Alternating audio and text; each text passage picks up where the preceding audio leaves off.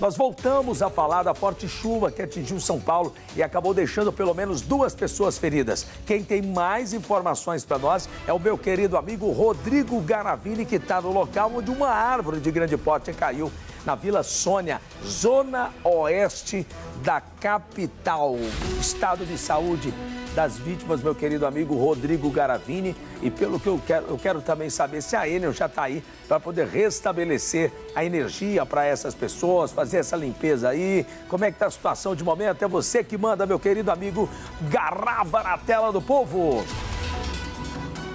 Fala, Marcão do Povo, meu parceiro. Vamos falar então primeiro do estado de saúde da dona Esther, que é a dona dessa casa aqui, Marcão que foi uma das mais atingidas. Na verdade, foram três casas atingidas. A dona Esther, de acordo com o pessoal, ela estava ali na varanda, onde aquele monte de telha, pau, pedra ali caiu ela foi atingida na cabeça, ela precisou levar cinco pontos e nesse momento a dona Esther, que tem 88 anos, de acordo com a neta dela, está internada em observação no hospital. Dá uma olhada no tamanho dessa árvore, Marcão do Povo, umas sete copas. Essa árvore aqui é uma árvore de grande porte que pode atingir mais de 30 metros de altura. E o que chama atenção é que a raiz saiu por inteiro aqui. Vamos mostrar aqui, cara de cavalo, para o povo que eu nunca vi um trem desse aqui, rapaz. Ela saiu com a calçada e tudo. Até uma parte da sarjeta foi arrancada. É aquela coisa, né? Muito asfalto, muito cimento em cima da árvore, a raiz não tem para onde crescer e aí fica essa raiz bem pequenininha, uma raiz bem fininha, não dá conta do porte da árvore. E aí ontem, 5 e meia da tarde, ventou forte por aqui, ela caiu arrancando tudo que estava pela frente aqui. Ficou a terra exposta, a árvore tombada e o que, que aconteceu na sequência? Essa árvore de grande porte aqui da casa da Dona Esther, ela caiu em cima dessa outra que estava aqui do lado, Marcão. Então nós temos duas árvores que atingiram três casas. Essa outra aqui, Marcão, dá pra gente ver que ela também estava condenada. Olha a quantidade de cupim aqui. Vamos entrar aqui, cara, cara de cavalo. Ó, aqui, ó, até aqui a gente pode ir, não tem problema nenhum não. Vamos mostrar a situação dessa árvore aqui, Marcão. Dá uma olhada nisso aqui, rapaz. Ela desmancha na mão. Olha isso aqui, ó. A quantidade de cupim que tem nessa árvore. Olha só, ela desmancha aqui na minha mão, rapaz, olha, dá uma olhada. O tronco tá todo condenado, eu tô vendo os cupins ali, ó, tudo branco ali, sinal de cupim. Enfim, essa outra casa aqui, Marcão, é uma casa alugada. Ela pertence ao seu Otávio, que estava conversando com a gente mais cedo agora, 7 e 3 da manhã. Muito bem-vindos ao primeiro impacto de você, meu amigo e minha amiga. O seu Otávio mais cedo estava dizendo que essa casa aqui é alugada, moram umas 5, 6 pessoas nela, não havia ninguém, então aqui ninguém foi atingido. Mas, de acordo com o proprietário, além do telhado que ficou todo destruído, essa casa aqui também teve a estrutura dela abalada de acordo com ele.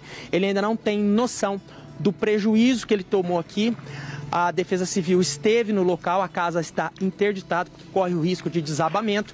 E aqui do lado, a gente consegue mostrar uma outra casa que também foi atingida. Quer ver? Ó? Olha só, ela fica mais escondidinha porque ela tá, é, o nível dela é bem abaixo do nível da rua. Então dá para ver que ela também foi atingida. Essa aqui é a, a, a, casa da direita e essa da esquerda. Ele falou que essa casa aqui também estava vazia, entendeu? Aqui ninguém foi atingido, mas o telhado também foi todo danificado e ele também não tem noção do prejuízo que ele tomou aqui. Vamos mostrar aqui, no, aqui na rua, cara de cavalo a situação de outras árvores, porque, de acordo com os moradores, Marcão, pelo menos aquela árvore ali da dona Esther, é uma árvore que ela está tentando é, remover faz muito tempo. E por curiosidade, num dia antes da queda, na quarta-feira, a prefeitura esteve aqui nessa árvore, fez uma inspeção e disse: Olha, a árvore vai continuar, porque a árvore está boa, não corre o risco de queda. Um dia depois, a árvore vem e cai. De acordo com os moradores, ela fez vários protocolos, vários pedidos para que essa árvore fosse arrancada e não foi atendida. O mesmo acontece, por exemplo, vem aqui comigo, cara de cavalo, com aquela árvore ali, ó.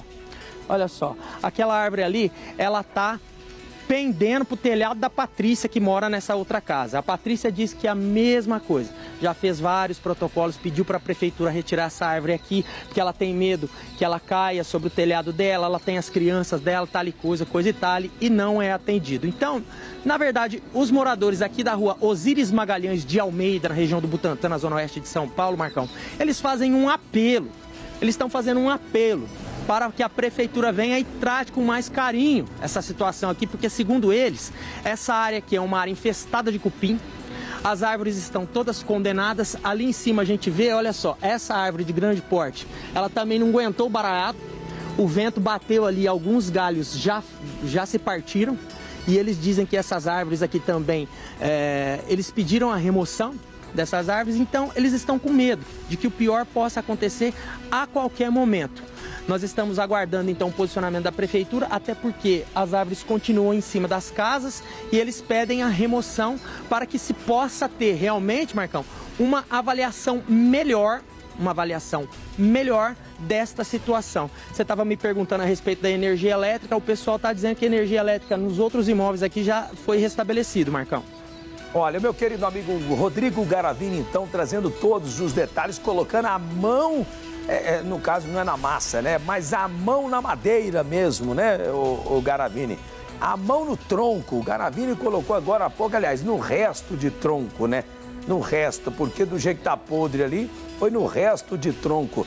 O que você estava falando, você foi muito feliz no que falou, até porque quando você acaba cercando uma árvore ali com asfalto, com, com calçada, com concreto, você abafa a raiz e ela fica podre. Ela ficando podre, ela não consegue realmente sustentar a árvore. E aí foi o que aconteceu. Quando vem um vento muito forte, aí acontece isso que nós estamos mostrando agora aqui na tela do nosso programa. O Rodrigo Garavim daqui a pouco então volta com todos os detalhes para nós aqui dentro do nosso programa, porque